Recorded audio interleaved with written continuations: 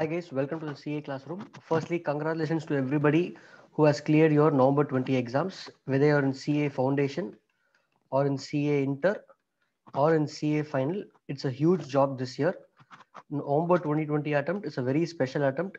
Pandemic, considering all that you have cleared, congratulations firstly. Now let us discuss how to proceed for each level.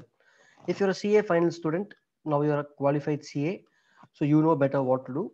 So we will address majorly regarding a CA foundation student and CA inter student, how he has to plan his career from now.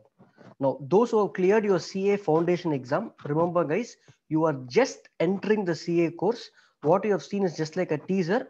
CA inter and final is the big picture for you.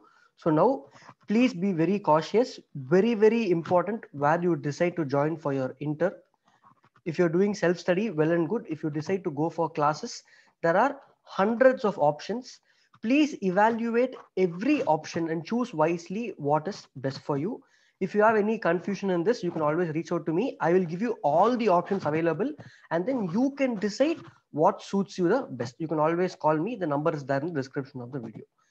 If you are a CA inter student, it is very, very much more important for you the next three years of your life, next three years of your life, known as CA articleship period is very important.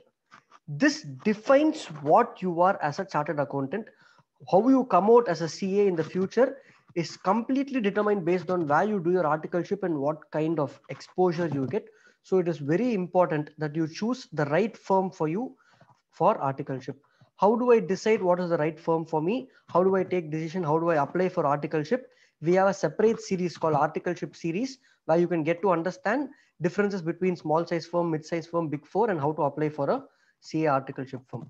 So again, guys, all the best for clearing your exams. Thank you for watching this video.